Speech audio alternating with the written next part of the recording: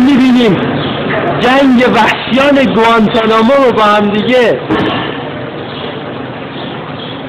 به یک گوهی بخورید باید چه حرکات متحیر و افولی انجام میدن